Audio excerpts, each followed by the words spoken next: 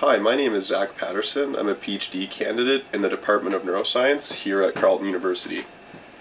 And my research focuses on the link between stress and obesity. Uh, and in particular, we focus on hormones produced in the stomach and how they affect the storage of body fat and food intake. And one of the things we find is that when an individual becomes stressed, their body releases these hormones, uh, and these hormones gain access to the bloodstream and they make their way up to the brain. And once they get into the brain, they activate uh, a region of the brain called the hypothalamus, which then promotes things like food intake and the storage of body fat.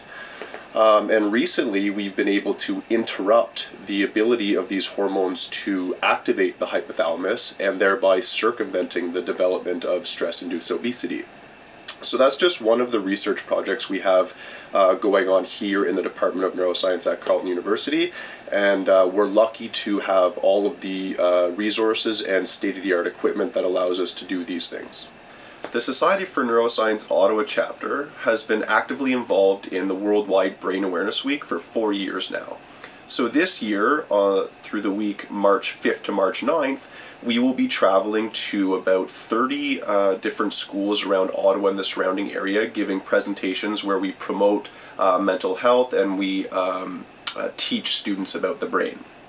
To finish off Brain Awareness Week this year, we're hosting our first annual Brain and Mental Health Art Show.